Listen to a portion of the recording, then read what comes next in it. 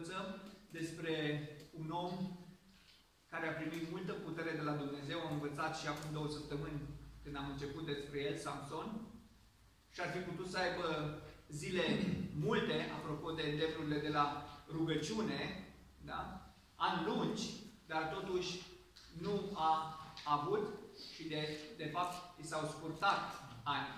Și mi-amintesc și de Solomon, cel care a scris uh, Cartea Proverbelor și le dea acele îndemnuri să ascultăm de poruncile Domnului atunci când Dumnezeu i-a apărut în visul lui Solomon și i-a spus, spune ce vrei să-ți dau. Solomon a cerut înțelepciune, Dumnezeu i-a plăcut cererea lui Solomon, a spus o să-ți dau multă înțelepciune, o să dau și bogăție și slavă și spune Dumnezeu că dacă vei asculta de poruncile mele, îți voi lungi și zilele. Dar nu s-a întâmplat așa. Solomon a trăit doar 40 de ani. A avut multă bogăție, a avut multă înțelepciune, dar Dumnezeu nu i-a lungit zilele, pentru că el nu a ascultat de Dumnezeu. Tot așa, într-o manieră asemănătoare s-a întâmplat și cu Samson. Lecția de astăzi se numește Compromisul cu lumea și puțin mai târziu, după ce să facem o recapitulare, o să vă citesc din Judecător, capitolul 16, cam pe acolo este lecția noastră de astăzi, Judecător, capitolul 16. Haideți să vedem câteva lucruri despre Cartea Judecători și ce am învățat ultima dată. Cât timp a durat perioada de timp uh, a cărții judecătorilor? Cât timp acopere ea? Poate să-și amintească cineva? 350 de ani, aproximativ 350 de ani, 400 de ani, cam așa, foarte bine. Și poate să-și amintească cineva care era ciclul care se repeta. În toți acești 350 de ani, istoria poporului se repeta. Așa cum este și o vorba astăzi, istoria se repetă. De ce? Fiindcă nu învățăm din ea. Da. Poate să-și amintească cineva cum era acel cer.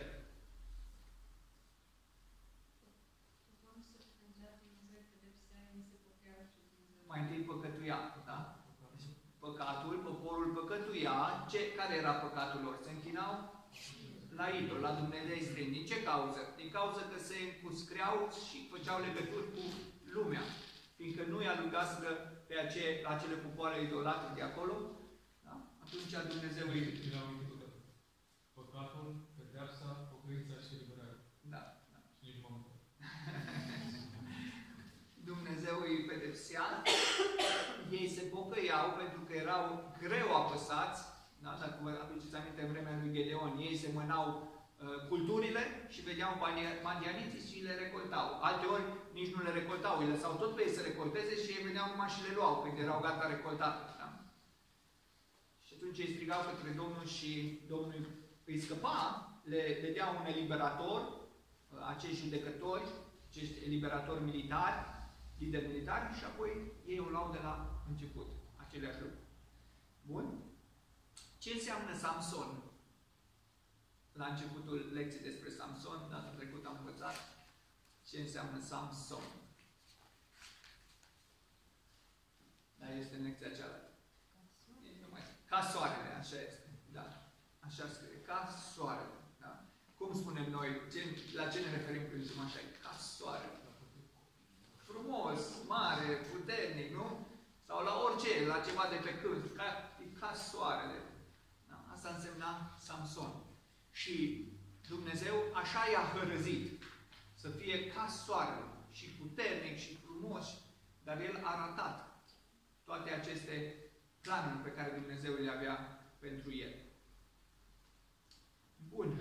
Care era legământul de nazireat? Samson a făcut, avea un legământ cu Dumnezeu de nazireat. De fapt, nu prea a făcut el, că din pântecele mamei lui era deja legat astfel de Dumnezeu. Dar ce însemna acest legământ? Și amintește cineva? Să nu bea Astea erau condițiile. Dar ce însemna acest legământ? La ce se referea legământul? Pus deoparte pentru Dumnezeu. Deci erau acești oameni care intrau în acest legământ de nazeriat, erau consacrați pentru Dumnezeu, sau dedicați. Adică ei nu mai făceau altceva. Da. Mă aduceți aminte de Samuel, mama lui, l-a dus la cortul întâlnirii, la Marele Preot Eli și l-a lăsat acolo. Vă dați seama? o mamă care mult timp a fost, uh, n-a putut să aibă copii s-a rugat la Dumnezeu, Dumnezeu i-a dat pe Samuel și după cum i-a promis lui Dumnezeu, s-a ținut de promisiune. După ce l-a încercat și copilul n-a mai avut nevoie uh, neapărat de mama lui pentru hrană, l-a dus la Marele Preot și l-a lăsat acolo ca să fie folosit de Dumnezeu. Deci asta era legământul de nazireat. Dedicare totală pentru Domnul. Și acum condițiile erau să nu bea băutură tare, niciun fel de băutură tare. Să nu ștundă părul.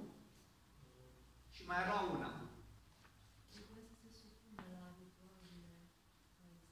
Ritealul, ăsta era ritealul, să, să nu bea uh, băutură din, din, din struguri, nici oțet, din Ah. vin, nici băutură, să nu se atingă de niciun smor, de o mortăciune, de foi. Da? Samson le-a încălcat pe toate trei. Da? Da. Asta, era, asta erau condițiile. Bine. Și ultima întrebare pentru recapitulare.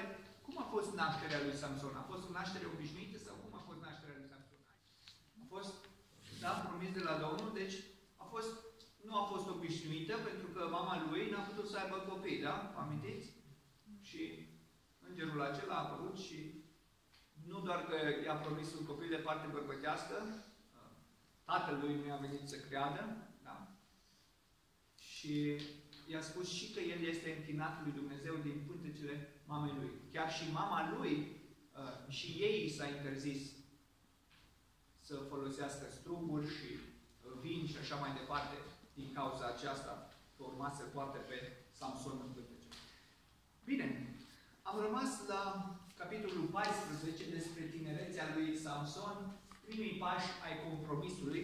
Haideți să vedem ce s-a întâmplat cu viața acestui om care uh, era hărăzit de Dumnezeu să fie ca soarele, ca și numele lui, adică să facă lucruri mari. Uh, Vă amintiți ceilalți judecători? Nu ni se spune despre ei că au fost aleși din pântecele mamei lor. La un moment dat în viața lor, Dumnezeu i-a chemat ca să libereze poporul, dar Samson a fost născut pentru asta. Ca să fie conducătorul poporului lui Dumnezeu. El trebuia să fie cel mai exemplu, să zic așa, cel mai bun dintre acești eliberatori.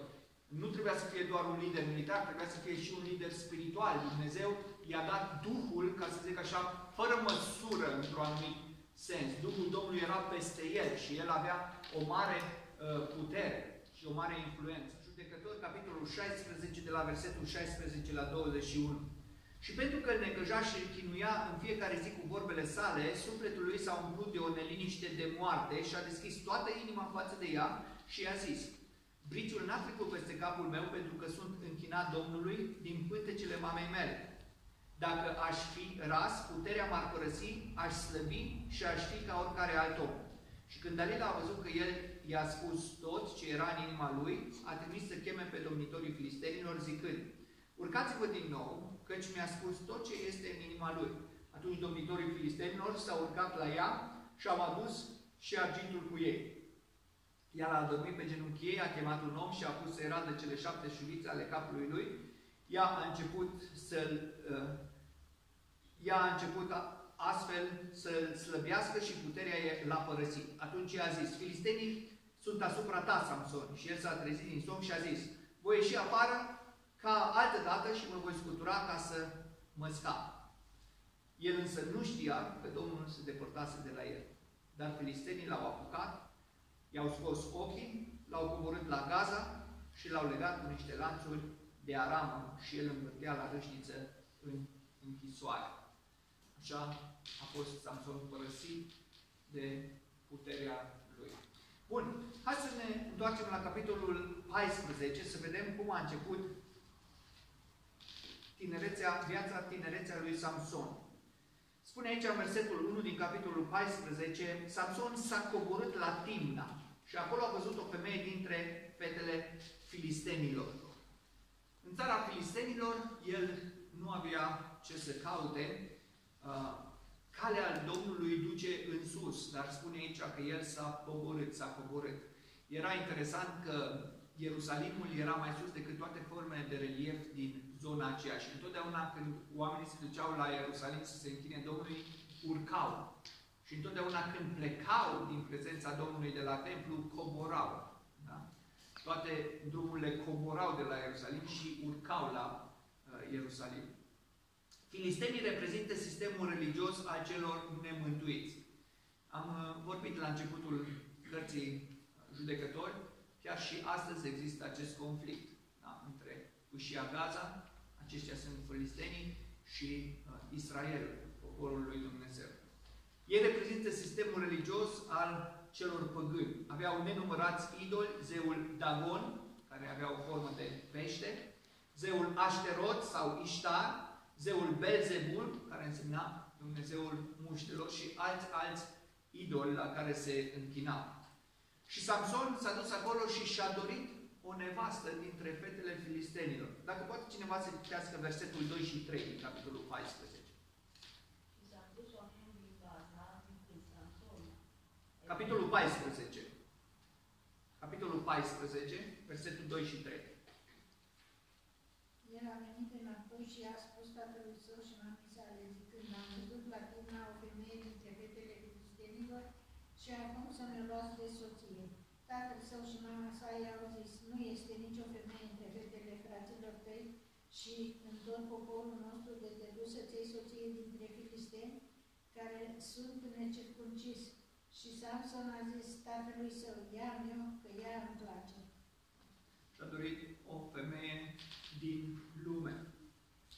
Samson se asemăna în multe privințe cu Israelul, binecuvântat de Dumnezeu, dar a dat cu piciorul, între ghilimele, acestor binecuvântări. Israelul trebuia să se separe de lume. Vă amintiți când uh, Iosua a condus poporul în țară, Dumnezeu le-a spus să nu vă Uh, faceți niciun fel de legătură cu ei. Se alungați din mijlocul vostru. Trebuiau să se separe de lume, dar ei cochetau cu lumea. Uh, tot așa, Samson a fost un nazireu care trebuia să fie separat, închinat Domnului, dar el n-a fost credincios legământului său. Tot ca și Israelul care n-a fost credincios lui Dumnezeu. Aș vrea să vă citesc în uh, Noul Testament, în Cartea 2 Corinteni, capitolul 6, de la versetul 14, spune așa, 2 Corinteni 6 cu 14, Nu vă jugați la un jug nepotrivit cu cei necredincioși, căci ce legătură este între dreptate și fără de lege? Sau cum poate sta împreună lumina cu întunericul? I-au spus părinții lui, nu găsești nicio fată dintre fetele uh, poporului lui Dumnezeu de te duci la filisteni, Dumnezeu a spus să nu facem așa ceva. Dar el a zis, luați-mi-o că asta mi-o place. Nu contează ce zice Dumnezeu, contează ce vreau eu, contează ce îmi place mie. Și continui în, în, în 2 Corinteni, capitolul 6. Ce înțelegere poate fi între Hristos și Belial? Sau ce parte are cel credincios cu cel necredincios? Și ce înțelegere are templul lui Dumnezeu cu idolii? Căci voi sunteți templul Dumnezeului celui viu. Cum a zis Dumnezeu, eu voi locui cu voi și voi umbla în mijlocul lor. Eu voi fi Dumnezeul lor și ei vor fi poporul meu. Însă El a vrut să facă așa cum i-a plăcut Lui. În timp ce s-a dus acolo cu părinții Lui la Timna, spune în următoarele versete, versetul 6, dacă poate cineva să citească, versetul 6, Duhul Domnului a venit peste Samson și fără să aibă ceva în mână, a sfâșiat leul cum se sfâșie un ied, dar n-a, n-a spus tatălui său și mamei sale ce făcuse. Da, un leu a ieșit în calea lor și Samson, fără nicio armă în mână, așa mare putere i-a dat Dumnezeu, parcă a fost un ied, așa, i-a rupt și a sfâșiat un leu. Dumnezeu i-a dat putere. Și spune aici în uh, această notă care o avem aici că în timp ce el îl învingea pe Satan pe un front, uh, pierdea bătălia pe alt front, în interior. Era puternic în exterior, dar poftele lui îl trăgeau în jos. El a luat miere din scheletul leului, n-a spus părinților lui și astfel a încălcat acea condiție a legământului său să nu se atingă de nicio spurcăciune, de niciun poit versetul 8 și versetul 9, după un timp s-a dus iarăși la Timna ca să uh, o ia și s-a bătut să vadă hoitul leului leului și iată în trupul leului era un roi de albine și miere, a luat mierea în mână și a mâncat-o pe drum și când a ajuns la tatăl său și la mama sa, le-a dat și au mâncat și ei din ea, dar nu le-a spus că luase mierea din trupul leului. Din cauza asta nu le-a spus, pentru că uh, știa foarte bine că nu, nu are voie să facă așa ceva. Apoi a ajuns la soția sa și spune că a spus o vicitoare filistenilor ca să își bată joc de ei. El se încredea în puterea lui și în înțelepciunea lui. Și în versetul 14, dacă poate cineva să citească. El a zis, din cel ce mănâncă a ieșit ce se mănâncă și din cel tare a ieșit dulceață. Da, a făcut o ghicitoare pe baza leului care l-a omorât și mierea care a găsit-o în leu. Da? Și vrea să se joace cu filistenii, să zic așa. Și uh, până la urmă, filistenii au convins-o pe soția lui, care era dintre ei, au amenințat-o ca să afle răspunsul, că ei nu puteau și până la urmă au aflat răspunsul, i-au spus și pentru asta că astfel promisese, el a trebuit să meargă să omoare 30 de oameni ca să plătească recompensa. Versetul 17 și 18 spune, ea a plâns lângă el tot timpul celor șapte zile cât a ținut petrecerea și în ziua a șaptea i-a dezlegat-o, ghicitoarea, căci îl necăja. Și oamenii din cetate au zis lui Samson în ziua a șaptea înainte de apusul soarelui, ce este mai dulce decât mierea și ce este mai tare decât leul? Și el i-a zis, dacă n-ați fi arat cu juncana mea, nu mi-ați fi dezlegat ghicitoarea. Adică și-a dat seama că nu erau ei așa de deștepți. De fapt, nu puteau să fie deștepți, că trebuia să fi știut ce s-a întâmplat pe drum. Da? Da. Și Duhul Domnului a venit peste el, s-a coborât la Ascalon, altă cetate de, de, de importantă, de scaun, cum ar veni, a filistenilor, și acolo a ucis 30 de oameni, i-a luat hainele și le-a dat celor ce dezlegaseră ghicitoare. Era aprins de mânie și s-a urcat la casa tatălui său. Nu i-a mai trebuit uh, soția. A plecat de acolo prins de mânie, fiindcă s-a supărat ce, ce a făcut. Da. Și astfel a fost uh, viața lui Samson ca un, ca un butoi cu, cu dinamite, ca un butoi cu pulbere. Adică foarte multă putere, foarte multă putere, dar puțină înțelepciune. Da? Era tot timpul în pericol să explodeze și să facă ravagii în jurul lui.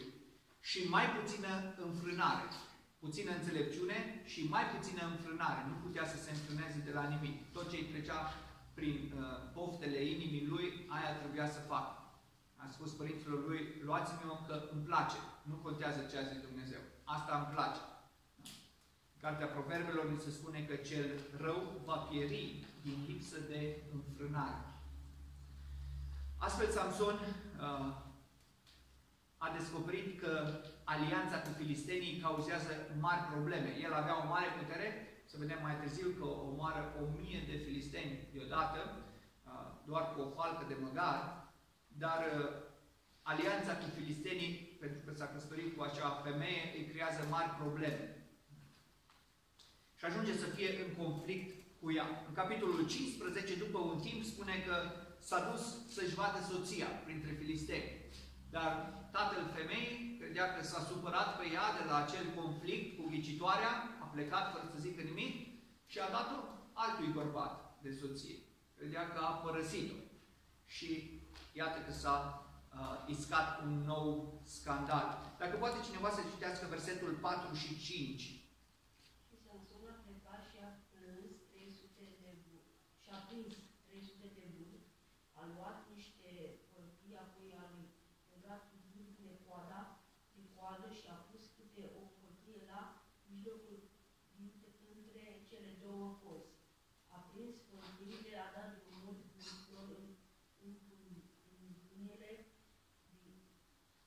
zeilor Da. și a prins astfel câte o grâu din Stoburi. câte și cel ce stă în picioare, precum și grâile de măslin. grădine de măslin, da? Deci, uh, din nou s-a mâniat și cum să prinzi? Nici o vulpe nu poți să prinzi, numai dacă faci capcane. Mă dați seama ce in- abilitate și ce rapiditate și ce putere a prins 300 de vulpi. Și le-a legat coadă în coadă, a pus o păclie mijloc și când i-a dat drumul, dați seama ce au smucit vulpile alea într-o parte și în alta, prin grâul filistenilor. Spune cel care era deja strâns în stopuri și cel care era deja, care era încă în picioare. Și le-a distrus toate culturile. Acesta a fost un act de răzbunare. Spune versetul 6, atunci filistenii au zis, cine a făcut lucrul acesta? Și ei au răspuns, Samson, ginerele Timneanului, adică cel din Timna, unde era soția lui.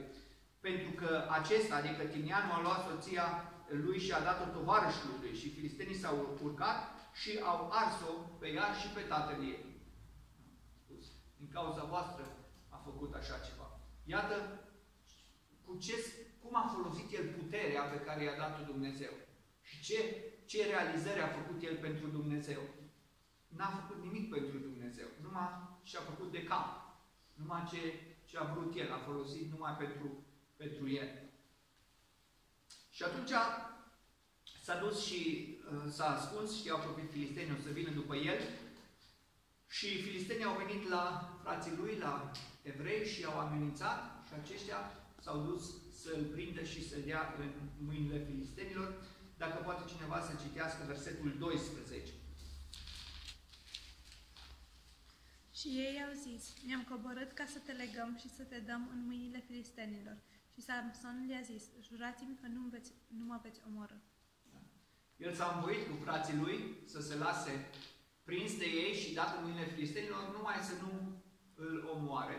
Pentru că el avea mânie pe filisteni și a observat că Dumnezeu îi dă această putere ca să inimicească, știa că sunt uh, dușmanii poporului lui Dumnezeu și nu avea frică să fie dat în mâinile filistenilor, atâta timp cât era închinat Domnului, doar uh, să nu-i facă altceva frații lui. Și astfel s-a lăsat să fie predat în mâinile filistenilor și se afla acolo, în locul acela care i-au pus numele Lehi, adică falcă, și acolo Samson a omorât o mie de filisteni cu o falcă de măgar. La versetul 15 spune, a găsit o falcă de măgar neuscată încă și a întins mâna și a luat-o și a ucis cu ea o mie de oameni.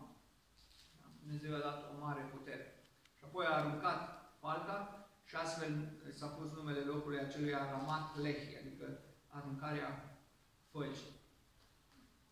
Apoi nu a avut apă de băut, s-a rugat pentru apă și Dumnezeu a deschis un izvor acolo la Lehi și i-a dat să bea apă. Versetul 18, fiindu-i foarte sete, el a strigat către Domnul, zicând, ai dat această mare biruință, eliberare prin mâna serverului tău și acum să mor de sete, să cade mâine celor necircumciși. Da? Și Dumnezeu i-a dat apă de băut. Versetul 20 spune că el a judecat pe Israel timp de 20 de ani.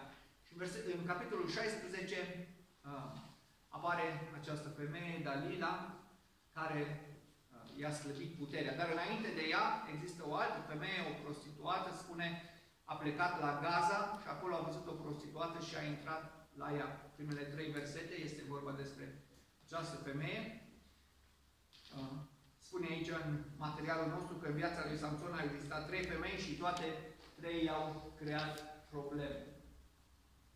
Filistenii au aflat că este acolo, au venit ca să-l prindă și el s-a enervat și a luat poarta cetății în spate și a dus-o până sus pe deal. Atâta putere a avut. Dacă poate cineva să citească versetul 3. Samson a dormit până la miezul nopții. La miezul nopții s-a deșteptat și a apucat porțile cetății cu amândoi stâlpii, le-a scos împreună cu zăvorul, le-a pus pe urmă și le-a dus pe vârful muntelui din fața poporului. Și astfel a scăpat de acolo și le-a arătat încă o dată că era protejat de Dumnezeu și că avea putere de la Dumnezeu. Pentru noi, ce învățăm de aici? Cât potențial irosit de poman. Samson n-a făcut altceva decât să folosească puterea lui Dumnezeu ca să atragă atenția asupra cui? Asupra lui. Toată lumea a auzit de Samson și de puterea lui. A dus el glorie lui Dumnezeu prin această putere? Nu. A folosit puterea lui Dumnezeu ca să atragă atenția asupra lui. Totul era despre el. Ce vrea el, ce îi place lui, unde vrea el să meargă și ce vrea el să facă a atras atenția numai asupra lui.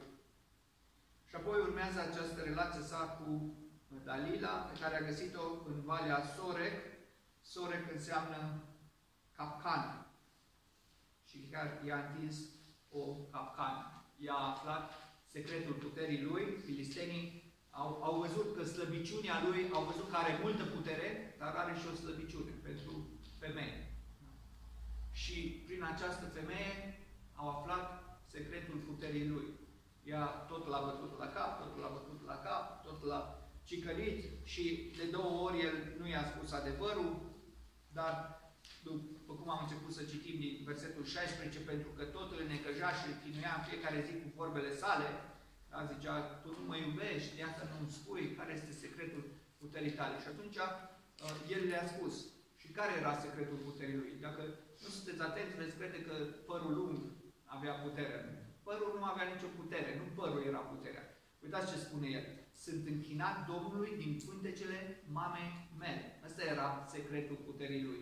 Era închinat lui Dumnezeu, era consacrat lui Dumnezeu. Da? În versetul 17 spune asta. Părul lung și celelalte condiții erau doar niște semne ale acestui legământ. Dar puterea nu venea direct din părul lung și din lucrurile acestea. El nu și-a pierdut puterea pur și simplu fiindcă nu mai avea păr. Și-a pierdut puterea fiindcă în mod repetat, în mod repetat, nu a ascultat de Dumnezeu. Și unul dintre cele mai triste versete din Biblie este versetul 20, unde spune Samson, obișnuit să fie protejat lui Dumnezeu, obișnuit să aibă putere, zice, a, nicio problemă, o să fac cum am făcut și până acum. O să mă scutur odată și o să-i împrăști pe toți.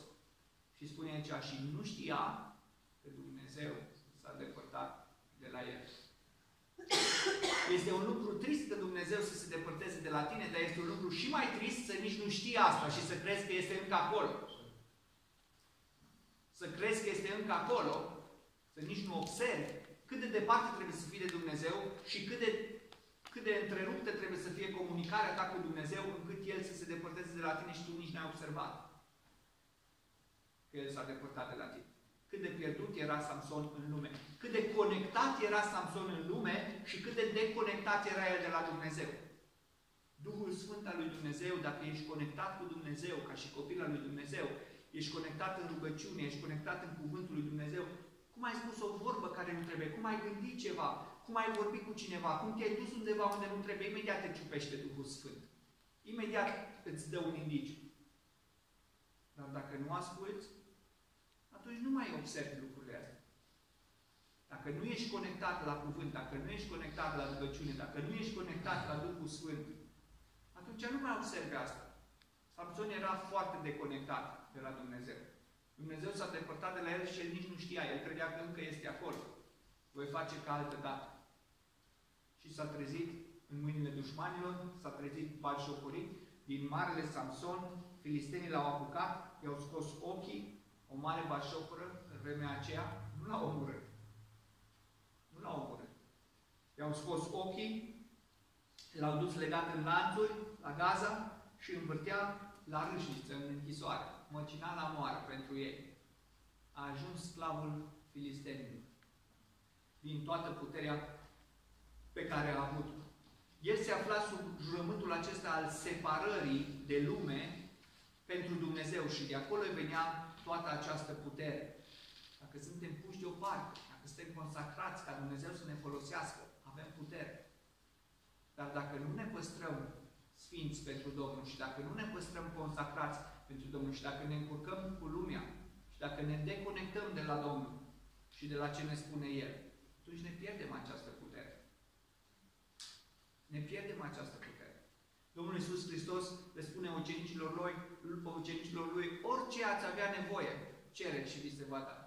Chiar dacă trebuie să mutați munți din loc, dacă sunteți conectați la Dumnezeu, dacă trăiți pentru El, dacă tot ce vă doriți voi în viața voastră este să fiți folosiți de Dumnezeu, veți avea parte de puterea lui Dumnezeu. Nimic nu poate să vă stea în cale.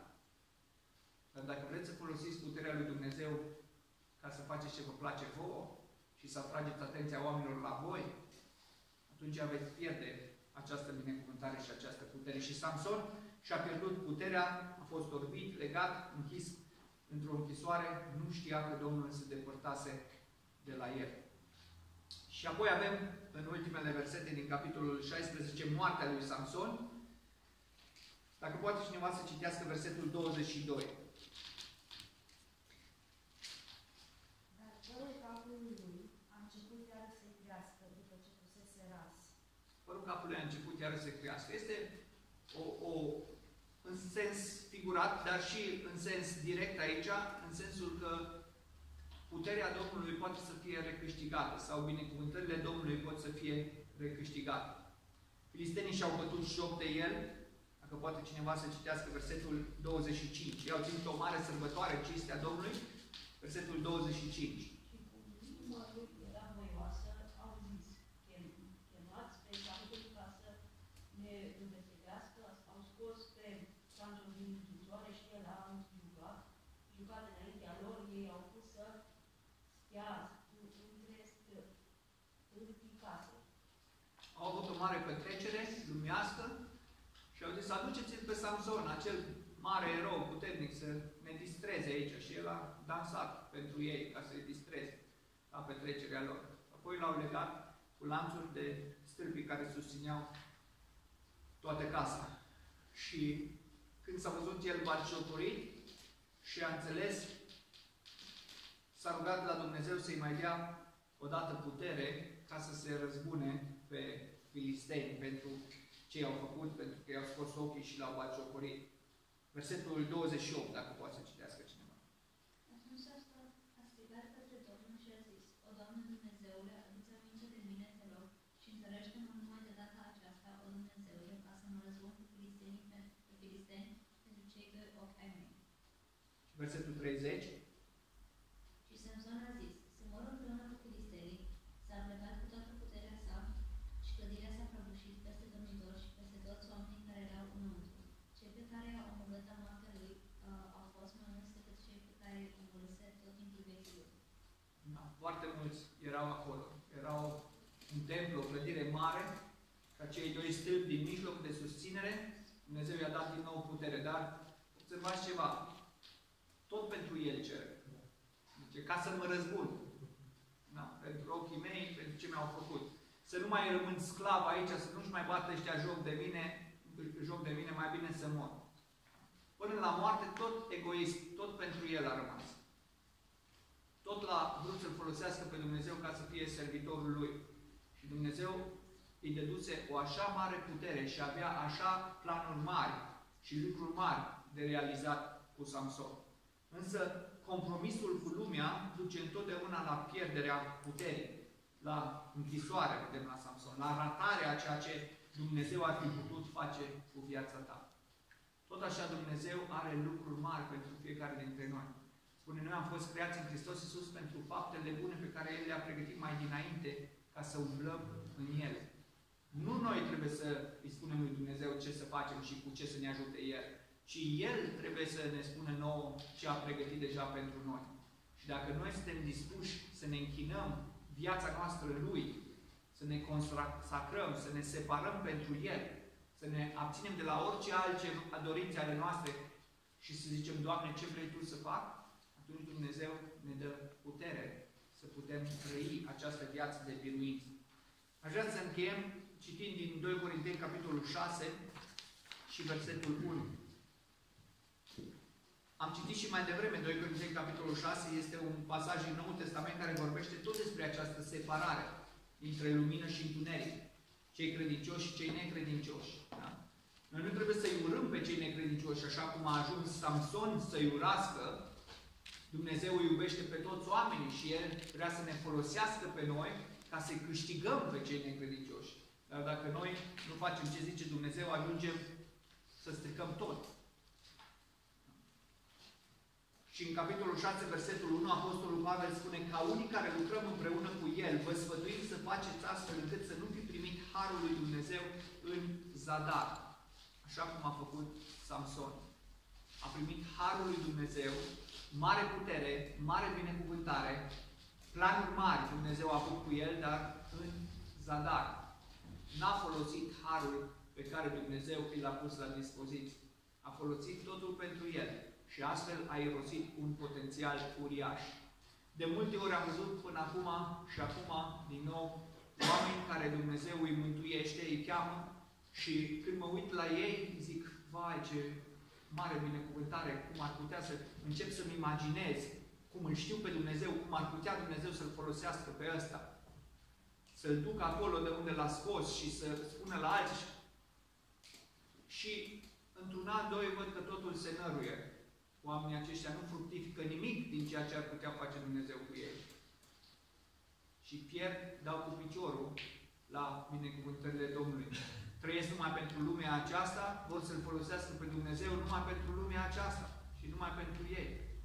Și zădărnicesc Harul lui Dumnezeu. Și cu timpul am început să învăț că una este să aibă un om potențial și alta este să și fructifice acel potențial. Numai câți tineri au fost aici la Colegiul Biblic și au studiat Cuvântul lui Dumnezeu și mulți dintre ei au și terminat. Însă puțini mai fac lucrarea Domnului. O grămadă de muncă, o grămadă de talent, o grămadă de bani, o grămadă de timp. Și totul se irosește. Cred că Domnul a avut alte planuri la început cu aceștia pe care îi cheamă. Și Domnul vrea să ne dea harul său. Să facem în așa fel, spune Apostolul Pavel, ca să nu fi primit harul lui Dumnezeu în zadar și să folosim pentru alte scopuri și alte lucruri uh, viața pe care ne dă Dumnezeu și ce ne pune Dumnezeu la dispoziție.